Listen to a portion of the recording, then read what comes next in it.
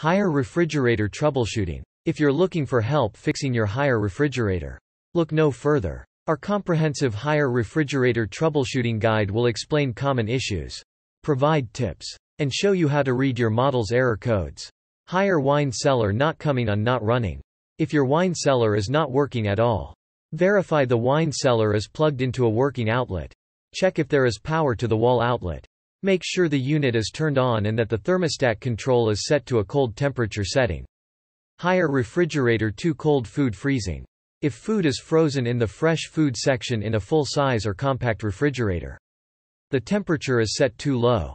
Set a slightly higher temperature.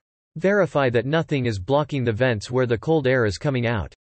Or being sucked in. Check that nothing is blocking air circulation and remove any item that is close to the air vents. Haier refrigerator not coming on not running. If your refrigerator is not working at all, verify the refrigerator is plugged into a working outlet. Check if there is power to the wall outlet. Make sure the unit is turned on and that the thermostat control is set to a cold temperature setting. Haier odor in refrigerator or freezer. Your refrigerator or chest upright freezer does not contain any mechanical parts that will produce an odor. When the unit is new, there is a plastic odor because most components inside are made plastic. This odor will dissipate with time. Odors can also come from improperly wrapped or sealed food in the unit. Cleaning the inside of the unit may be necessary. Do not use bleach or ammonia. This can crack or damage the unit liner.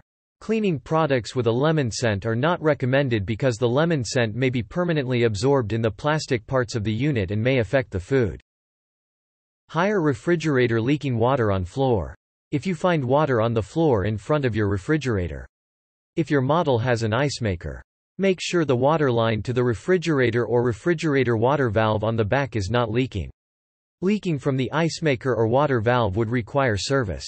It may be due to a clogged defrost drain tube. This would require service to fix. Haier refrigerator ice maker not making ice. Under nominal conditions the ice maker should harvest every 60-90 minutes. Repeated door openings during that cycle will extend the time between harvests. As every time you open the door you are allowing warm air in and cool air out. If the built-in ice maker in the refrigerator is not working, check the following. Check the water supply to verify it is connected and turned on. Verify the ice maker is switched on. Verify that all air has been bled from the system. Verify the water pressure meets the minimum requirements 20 to 60 psi. It takes about 48 hours for a new refrigerator's temperature to stabilize, during this time ice production will be slower. Check to make sure the ice cubes have not stuck together. Remove the ice maker bucket and check that the tray does not have one big block of ice in it. Ensure the freezer is cold enough to make ice. The temperature has to be 10 F or colder in the freezer. The ice maker can take up to 24 hours to make ice from the time the freezer is first switched on. Haier refrigerator running too much.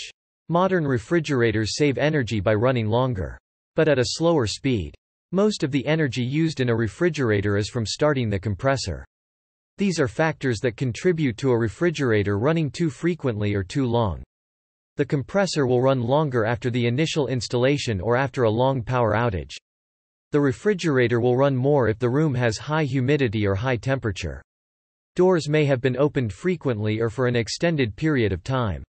Warm food may have been placed in the fresh food or freezer compartment. Check the gasket for a proper seal. Make sure it is not damaged.